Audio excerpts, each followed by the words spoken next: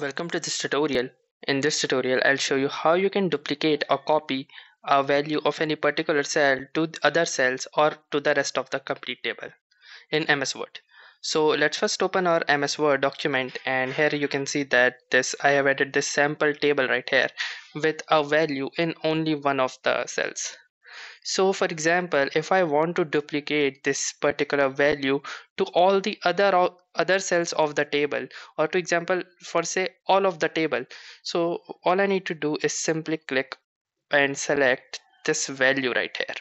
Now once I have selected the value, I can press the control and C key combinations or I may also choose to copy this by right clicking on it. So once I have copied this value, what you need to do is simply click or select those ranges of cells in which you want this value to appear.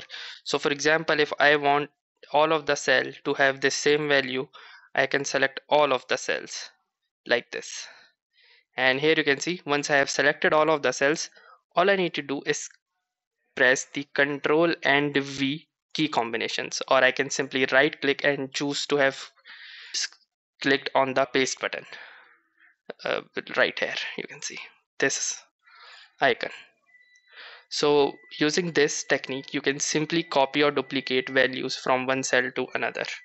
And it it is not necessary that you have to always choose the entire table. You can also do things like for example if I select this value I'll just press the control and C key combinations again.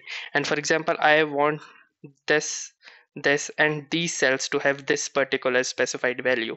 So all I can do is simply select these cells by pressing the control key. So for example I have just pressed the control key and I will select this cell and then I will select this cell and then I will select this cell. And once I have selected the cells I can simply press the control and V key combinations. Or I may could have simply right clicked and pressed this button right here. It's the same thing. So once you have done this you can see that the selected cells have the value that you want them to have. So that's it for this video. If you like this video make sure to hit the like button as well. Comment on this video share it and don't forget to subscribe to our channel. I'll see you in the next one. Thank you for watching and have a nice day